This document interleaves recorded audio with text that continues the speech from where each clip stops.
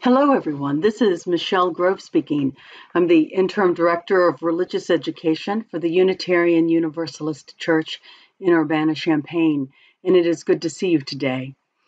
We're in some difficult times with the church closing for an undesignated amount of time and the lack of opportunity for all of us to gather together in community. We're searching desperately for some ways in which we can connect. And one of the ways that I use is something called Zoom video conferencing. This was a especially important tool for me and my family when we lived in Sisseton, South Dakota, because we were so isolated from friends and family, and for me in particular, from my Unitarian Universalist colleagues. So I spent a lot of time using Zoom to connect and found it a delight. I hope you do too. So watch closely as we enter this tutorial and hopefully it will help you feel more comfortable in using it because once you get it set up, it's quite easy. So currently you are looking at the main page of my Gmail account. The way you will begin a Zoom video conference call is with an invitation.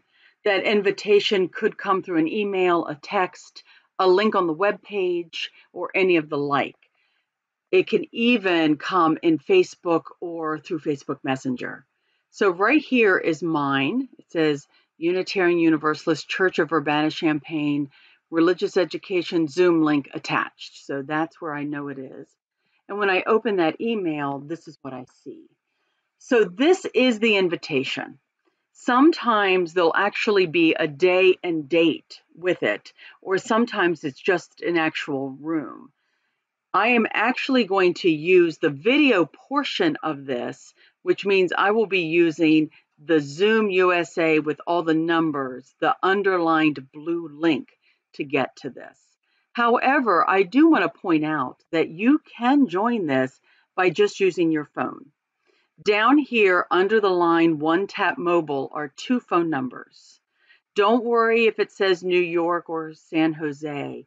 You can use either one of those phone numbers. Call one, and then it will ask you for the meeting ID. There is the meeting ID right here. Put that in, and it'll send you right to it, and you'll be able to listen and to hear with no problem. So I'm going to click on this link but if for some reason it doesn't open, you can also cut and paste the link into an open page on your browser. So if I click on it, see it takes me to this. This shows that it's loading. I want to say yes, open Zoom meetings. And once I do, it'll open it up.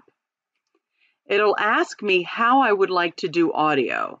I normally use computer audio, but you might also want to use the phone call. That is up to you and how comfortable you are with the quality of your phone, or excuse me, with your computer audio, or with your phone at that matter. You can also get on early and test your speakers and microphone to make sure that everything's sounding well.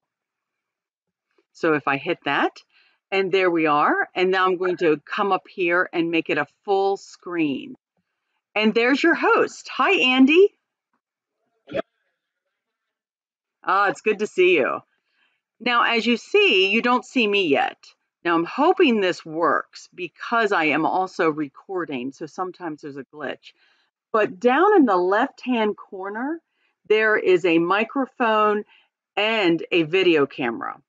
You can mute yourself so that nobody can hear you or the noise behind you. And you can also turn off your micro or your video.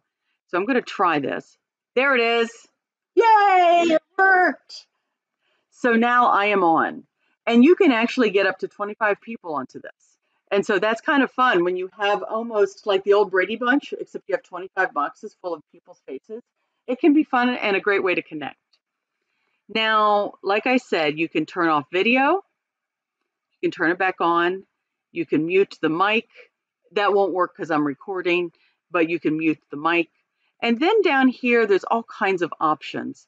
The ones that are probably the most important for you is this chat box. Now, Andy, do you see your chat box? Okay, great. Because when you get into this, I can now type a message to everyone. I might want to put a link in to say, hey, we're working on a Google Doc. Here's the link to what we're editing. Or I might want to just type a message.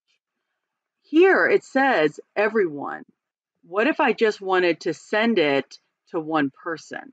So Andy is actually using the religious education office. So I could actually send him a private message that only he gets. Or I could then turn it to everyone and write everybody else, you know, a message. See, like this. And then Andy can respond, and anybody else on the call can also respond. So that's a neat feature.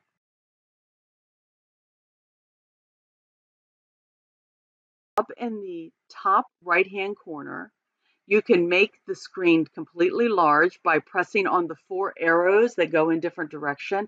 That shows how to make it larger. So if I do that, see now it takes up my whole screen. But if I want to minimize it so that I can get to other things, I can. The other thing I can do is I can change it to speaker view so that the only person you see is the person, like right now it's the host, but sometimes it'll also switch over to the person talking. And then do you see where you see my picture? Everybody else will be lined up up there. So that's the other option. When I'm here, the other thing I can do if I want to work on my computer is I can go to the minimize bar and minimize it. And now the conference is going on right here while I can access my web page. So maybe I want to go to the church web page and look up some things. And I can do that and even if I wanted to, I could share what I see on my screen with everybody else on the Zoom call. And you all, thanks for everything. And give me a call, 605 237 1319, or email me at re director at uucuc.org if you have any questions or problems. I look forward to seeing you at the next Zoom video conference. All right. Bye.